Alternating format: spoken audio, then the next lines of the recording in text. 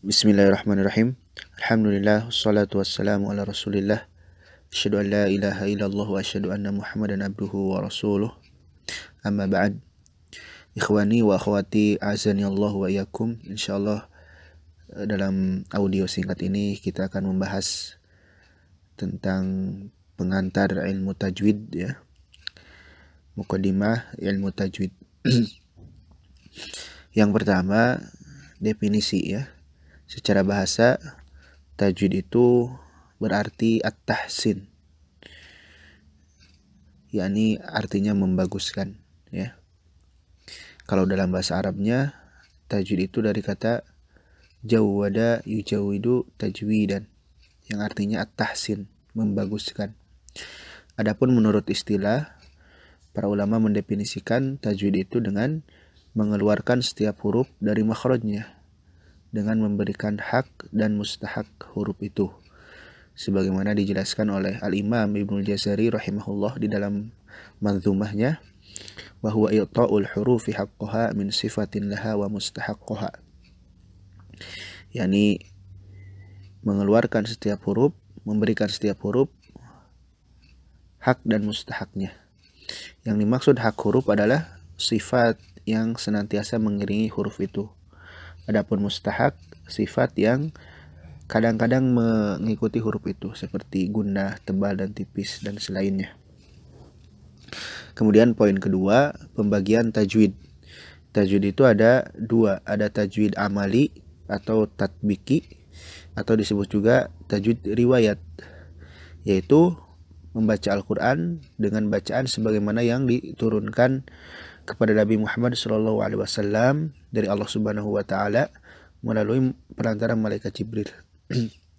Jadi tajwid amal ini tajwid yang pertama kali dipraktekkan ya. Bagaimana Al-Quran itu diriwayatkan dari Allah Subhanahu Wa Taala kemudian kepada Nabi kita, kemudian dari Nabi kepada para sahabat, kepada tabiin, tabiut tabiin, para ulama sampai kepada kita secara mutawatir. Kemudian yang kedua tajwid ilmi atau nazari ya. Yaitu mengetahui kaidah-kaidah dan hukum-hukum yang berkaitan dengan bacaan Al-Qur'an ya. Kalau tajwid amali itu sifatnya riwayah. Kalau tajwid ilmi nazari itu sifatnya penelitian. yakni kaidah-kaidah ini diambil dari bacaan itu sendiri ya. Kemudian para ulama membuatkan kaidah-kaidah itu. Sehingga kalau tajwid ilmi ini sifatnya ijtihadiyah. Artinya hasil pemikiran para ulama. Kemudian poin ketiga, hukum mempelajari tajwid. Yang pertama, kalau tajwid amali, mempraktekkan tajwid ini hukumnya fardu ain kepada setiap orang muslim itu wajib mengamalkan uh, mempraktekkan dalam bacaannya tajwid itu. Dan para ulama menyebutkan jika bacaannya itu merubah makna, maka hukumnya haram ya, dan berdosa kalau sampai merubah makna. Tapi kalau tidak merubah makna, maka aib bagi dia dan menyalahi kaidahnya para ulama ahli Al-Qur'an ya. Adapun untuk batasan apakah itu merubah makna atau tidak, tentu itu e, perlu rincian ya. Misalkan tertukar huruf, tertukar harokat itu merubah mempengaruhi makna ya. Sehingga harus harus diperhatikan ya, mempraktekkan ini. Ada juga yang menyebutkan kenapa ketika mempraktekkan ini fardu ain karena seseorang yang meninggalkan belajar dia berdosa karena meninggalkannya itu. Jadi tidak mentajwidkan dia mendapat berdosa karena tidak mau belajarnya sebagaimana kata Imam Ibnu Jazari malam yujawidil qur'ana asimu. Orang yang tidak mentajwidkan Al-Quran itu asim terancam berdosa ya. Hanya ukuran dosa dan sebagainya itu Allah alam ya. Allah yang maha berhak untuk menentukannya. Tapi di sini menentukan pentingnya mempraktikkan tajwid. Adapun tajwid ilmi mempelajari teori itu fardu kifayah. Artinya ketika ada seorang yang mempelajari maka yang lainnya gugur kewajibannya ya. Kemudian penemu ilmu tajwid. Kalau tajwid amali tentu yang pertama kali mengamalkan dari kalangan manusia itu Rasulullah Shallallahu alaihi wasallam yang beliau menerima wahyu dari Allah Subhanahu wa taala melalui perantara malaikat Jibril. Dan nabi ini mempraktikkan tajwid yakni membaca dari malaikat Jibril itu secara talaki ya, secara talaki bahkan disebutkan di beberapa hadis setiap Ramadan Nabi mengulang-ulang bacaannya kepada malaikat Jibril alaihissalam. Adapun tajwid ilmi di sini para ulama berbeda pendapat siapa yang menemukannya dan rata-rata di zaman dulu ya tajwid itu ilmu yang eh, hampir bergabung dengan ilmu nahu ya. Jadi ilmu dengan ilmu bahasa Arab ya, tidak dipisahkan menjadi ilmu tersendiri. Di sini para ulama berbeda pendapat siapa yang pertama kali meletakkan ilmu tajwid. E, yang pertama ada yang berpendapat Abu Aswad Ad-Duali. Beliau wafat di tahun 69 Hijriah. Kemudian yang kedua ada yang menyebutkan Khalil bin Ahmad Al-Farahidi. Beliau wafat tahun 170 Hijriah ada juga yang menyebutkan Abu Ubaid Al-Qasim bin Salam yang wafat tahun 224 Hijriah. Kemudian kitab pertama dalam ilmu tajwid ya. Kalau tiga uh, orang tadi itu sebagai penemu yakni cikal bakal ditemukannya ilmu tajwid ya. Adapun kitab pertama yang disusun itu adalah Manzuma Al-Haqqaniyah yang berjumlah 51 bait ditulis oleh Imam Haqqani yang beliau wafat pada tahun 325 Hijriah. Kemudian eh, prioritas utama belajar tajwid itu seperti apa? Para ulama sepakat bahwasanya yang paling utama dalam mempelajari tajwid adalah praktek ya. Adapun teori bersifat pembantu ya. Praktek bacaan harus diambil juga dengan bertalaki langsung kepada ahlinya.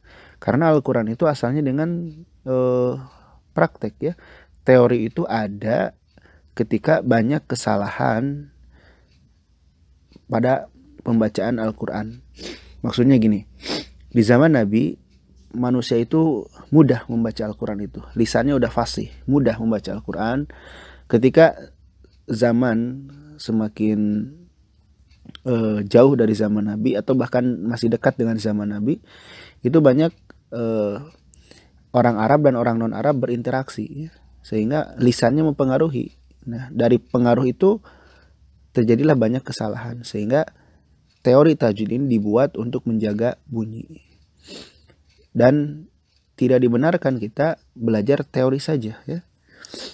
Teori tanpa praktek itu biasanya ngarang-ngarang ujungnya ya. Jadi praktek yang paling utama ya. Dan praktek pun harus diambil dari orang yang dipercaya ya. Tidak sembarangan ya. Tidak tidak sembarangan. Nah bagaimana membedakan bacaan itu bertajwid atau tidak? Kurang lebih ada lima poin ya.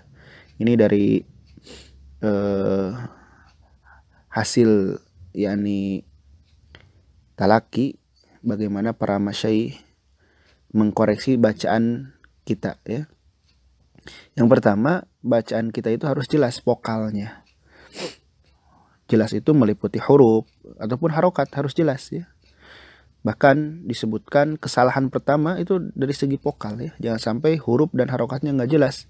Misalkan suaranya tertahan. Jadi ketika membaca Al-Quran nggak jelas bunyinya. Misalkan Suaranya nggak jelas ya. Huruf apa harokat tuh nggak jelas. Kemudian dialeknya harus Arabi, logatnya. Kenapa? Karena Al-Quran bahasa Arab ya. Bukan bahasa Indonesia. Sehingga logatnya harus Arabi. Dan ini perlu dilatih ya kalau dengan sering latihan kita akan bisa membedakan mana dialek Arabi dan mana yang bukan ya. Kemudian apik dalam ahkam. Nun sukun, guna, yang guna dibaca guna, yang tidak guna tidak dibaca guna. Yang panjang dipanjangkan, yang tidak panjang jangan dipanjangkan. Kemudian apik dalam bidang wakaf. Karena ilmu wakaf ini ilmu yang sangat penting ya. Tidak boleh kita sembarangan berhenti dan tidak boleh juga sembarangan memulai karena mempengaruhi makna. Bahkan ilmu wakaf ini bahasannya terpisah, yakni panjang bahasannya karena membutuhkan ilmu-ilmu yang lain. Kita dengan wakaf artinya ketika kita menentukan wakaf kita harus paham tafsirnya. Kenapa wakaf di sana? Harus paham bahasa Arab dan selainnya ya. Kemudian terhindar dari kesalahan-kesalahan. Kesalahan itu apa saja? Disebutkan di poin ke-8. Yang pertama, vokalnya nggak jelas seperti yang tadi dicontohkan yang oleh para ulama disebut dengan at-tamdig at-tamdig tamdig itu mem e, membaca tapi seolah-olah sedang mengunyah ya sedang mengunyah makanan kemudian logatnya selain Arabi misalkan dengan logat Indonesia Jawa atau Sunda itu tidak boleh ya. Kemudian ahkamnya berantakan ya. Ahkamnya berantakan. Ya, tadi tidak dijelas ya. Tidak jelas yang idhar tidak guna yang guna gitu ya. Kemudian tidak memperhatikan wakaf dan suara uh, masuk hidung ya. Suara masuk hidung nah adapun kesalahan yang lain di sini tidak disebutkan ya yakni huruf tertukar, harokat tertukar itu jelas merubah makna ya. Itu jelas merubah makna. Kemudian tahapan belajar tajwid. Yang pertama dari huruf ya. Kita latih huruf per huruf dengan cara huruf tersebut disukunkan kemudian diharokatkan dan ditasdidkan kemudian pakai mad misalkan kita latihan huruf ba maka sukunkan dulu ab. Kemudian harokatkan ba. Kemudian madkan ba. Kasroh domah demikian juga. Dan pastikan ketika kita melatih huruf itu vokalnya jelas ya. Dialeknya Arabi ya. Kemudian pasahatul kalimat yakni disambungkan dengan kalimat. Misalkan kalimat uh, wa wajadaka wa wajadaka harus seimbang bunyinya karena sama-sama satu harokat. Wa wajadaka jangan sampai wa wajadaka atau wa wajadaka jadi perhatikan temponya juga berpengaruh ya. Kemudian tidak mementingkan irama. Nah, irama ini eh, tambahan ya atau keutamaan dari Allah Subhanahu wa taala yang diberikan tidak semua tidak kepada semua orang ya. Irama itu atau suara ya suara yang indah itu sama halnya dengan fisik yang indah tidak semua orang fisiknya indah. Begitupun suara ya. Sehingga tidak mementingkan hal itu. Yang penting fasohahnya ya, fasohahnya. Kemudian di sini ada nasihat umum khusus bagi penulis juga bagi kita semua ya. Yang pertama dalam salah satu hadis Nabi kita bersabda, Ta'allamu kitab Allah, pelajarilah Al-Qur'an, wasallallahu bihi al-jannah dan mintalah kepada Allah dengan Al-Qur'an itu surga. Jadi kita disuruh oleh Allah minta surga dengan Al-Quran. Allah yang nyuruh melalui lisan Rasulnya. Kenapa? Qabla ayati qaumun yas'aluna biha dunya. Sebelum datang suatu kaum yang mereka justru meminta dengan Al-Quran itu dunia. Mengharapkan dunia. Karena kata Nabi kita, fa'inal Qur'an ya ta'alumu thalatha. Al-Quran ini dipelajari oleh tiga kelompok yang berbeda-beda motifnya. Yang pertama, rojulun yubahibih orang-orang yang belajar Al-Quran niatnya untuk berbangga-bangga. Kemudian rajulun yastaqilu bih uh, atau yastaqilu min orang yang nyari makan dengan Al-Quran itu dijadikan profesi ya. Kalau nggak ada itunya dia nggak mau belajar atau mengajar. Ada juga yang ketiga orang yang belajar atau mengajar Al-Quran itu lillah untuk Allah Subhanahu wa taala. Hadis ini diriwayatkan oleh Imam Hakim ya dan disahihkan oleh para ulama. Kemudian yang kedua, di antara kelompok manusia yang dilemparkan ke dalam neraka adalah ahli Al-Quran yang niatnya karena ria. Pada hari kiamat kelak, dalam hadis yang sahih yang diriwayatkan oleh Imam Muslim, manusia itu ada tiga kelompok yang pertama kali diadili oleh Allah Subhanahu wa taala. Dan tiga kelompok ini melakukan amal yang terlihat istimewa ya. Yang pertama berjihad, yang kedua yang dermawan, yang ketiga ahli ilmu dan ahli Al-Qur'an. Tapi karena niatnya ingin disebut ingin ria ingin pamer akhirnya jadi penghuni neraka yang pertama. Naudzubillah ya. Kemudian bersungguh-sungguhlah dalam belajar ya. Jangan setengah-setengah karena kalau setengah-setengah hasilnya pun demikian ya. Kemudian bersabar dan tidak tergesa-gesa jangan sampai kita mengatakan e, kapan kita selesai belajar tapi kapan kita mulai belajar karena belajar ini e, ibadah ya yakni sampai meninggal kita belajar terus belajar dan sabar ketika belum bisa terus karena yang menjadikan kita bisa adalah Allah Subhanahu wa taala. Berdoalah agar diberi kemudahan. Guru itu hanya e, pelantara ya. Kita usaha kita pun pelantara. Banyak berdoa yang menggerakkan lidah kita yang membunyikan pita suara kita. Allah Subhanahu wa taala minta sama Allah Subhanahu wa taala. Kemudian selalu ingat akan pahala yang dijanjikan ya. Dalam hadis disebutkan barang siapa yang membaca satu huruf maka diberikan kebaikan yang dilipat gandakan jadi 10 kebaikan. Kemudian jauhi motif duniawi ya. Apakah itu belajar Al-Quran ingin tadi disebut ahli Quran atau zaman sekarang belajar Al-Quran hanya sekedar ingin kertas ya ingin sanad ya belajar Al-Quran itu untuk Allah Subhanahu Wa Taala. Adapun perkara yang lainnya maka dengan sendirinya itu akan ngikut ya. Kemudian terakhir tidak semua orang bisa membaca Al-Quran dengan enak dan merdu ya. Karena faktor suara ya. Tapi semua orang bisa berpeluang membaca dengan benar. Maka utamakan benar dulu baru setelah itu merdu. Mudah-mudahan yang sedikit ini bermanfaat khusus bagi penulis umum bagi kita semua semoga Allah memudahkan kita dalam belajar Al-Quran. Akhiru kalam akhiru kalam. Wassalamualaikum ala nabiyina Muhammad wa ala alihi wa sahbihi ajma'in. Bihamdik astaghfiruka wa atubu ilaik. Barakallahu fikum. Walhamdulillahi rabbil alamin